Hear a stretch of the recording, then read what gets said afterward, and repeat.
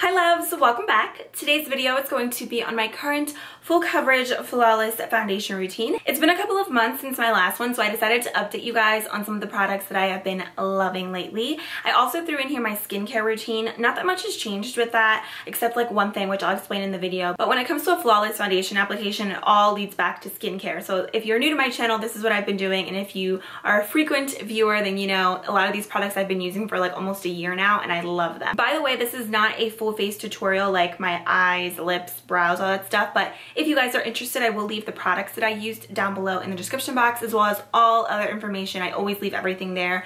Frequently asked questions, nail color, what I'm wearing, everything. So don't forget to check that out in case you are wondering. And if you want to see how I get this full coverage face, then just keep watching. Of course, I'm starting with my skin, as I mentioned. First, I'm taking my Bioré Blemish Fighting Ice Cleanser. This is the only product that has changed in my skincare routine recently. And I was using a cleanser by the brand Boots, and I used to get it at Target and online, and I think it's discontinued because I can't find it anywhere. So I started using this about a month and a half to like two months ago. I really love it. I used to use Bioré back in high school. It's one of my favorite skincare brands. All of their products make your skin feel like really tingly and minty which I love. And typically I will use my Clarisonic with a cleanser that I use, but my skin has been a little sensitive lately, so I'm just using my fingers. So after washing that off, I'm taking my Thayer's Rose Petal Witch Hazel, and you can get this at GNC or Amazon.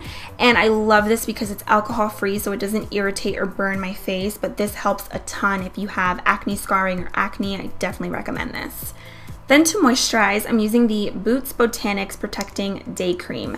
No matter what type of skin you have, it's super important to always moisturize. It makes a huge difference in your routine. So at night, in case you're wondering, I do use the same brand of cream. I just use the night cream. And I like this one a lot because it's really hydrating, but it doesn't weigh my skin down or make it feel really greasy. Then this is a step that I just never skip. It's the Mario Badescu facial spray. It's like the rose water one. I love this just for extra hydration. It just makes my face feel really refreshed. And once that settles into my skin for like two or three minutes, I'm ready for foundation. So first I'm taking my Hard Candy Pore Defense Primer Serum. I've been raving about this so much lately.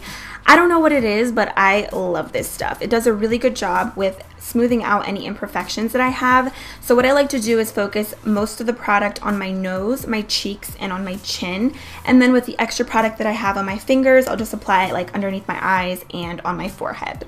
Then I'm taking the NYX First Base Primer Spray.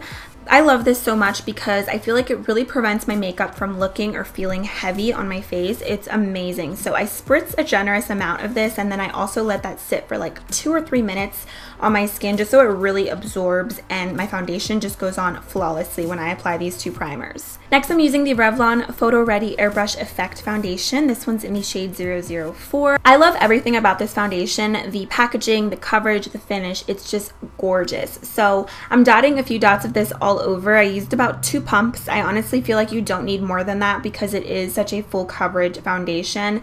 I feel like it just gives such a natural, healthy finish, but it just really doesn't feel like a full coverage foundation. It feels very light on my face, which I love. And I think this is a really good uh, foundation if you have dry or oily skin because it doesn't cling to any of my dry areas, but it also doesn't make me excessively oily. So I would try it out because it really is amazing. You just can't go wrong with it. Next, I'm taking My Baby. This is the Maybelline Fit Me Concealer in the shade Sand number 20. I don't know what it is, but Maybelline concealers are definitely probably the best ones at the drugstore. I feel like they just give off the best coverage and they feel the best and look the best on the skin. So I know this looks like a lot of concealer and that's because it is a lot of concealer. I always like to conceal and highlight my face. So I'm just applying this also all over my lids because I'm not going to do a lot of eyeshadow today. So I want to conceal any veins or discoloration. Then to set my foundation and concealer, I'm using the RCMA No Color Powder. I picked mine up online. It was like $10 plus like $6 shipping. I got it directly off of their website.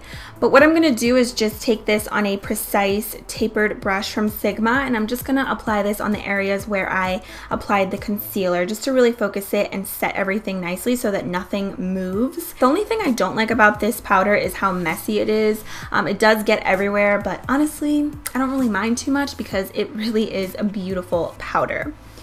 So once that's finished, I go in and I take the same powder on a different brush. This is a powder brush by e.l.f. and I'm just going to be applying that to the other um, spots where I don't have concealer, basically on my cheeks and my forehead and my chin, and just kind of blend that out. I know it looks a little crazy at first, but once you blend it in, it looks flawless. Then to bronze and contour very naturally, I'm using the MAC Mineralized Skin Finish in the shade Medium Deep. This is basically a really dark powder, but I love the MAC Mineralized Skin Finishes. They are just beautiful. They're like butter. They go on so smooth, and I just love them.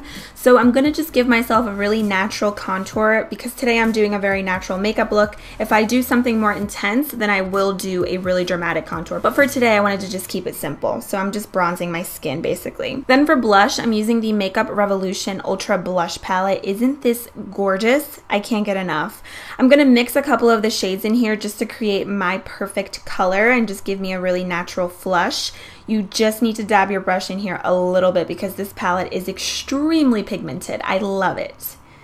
Then to highlight my face, of course, I'm using the Lorac Illuminating Highlighter in the shade Daylight. It's like a beautiful champagne highlighter. It kind of reminds me of Champagne Pop, but it's really, really, really intense. So you really just need a little bit, but you know, I went overboard because I love highlighting my face. Like, I don't know why. I never used to highlight my face before, but I can't get enough.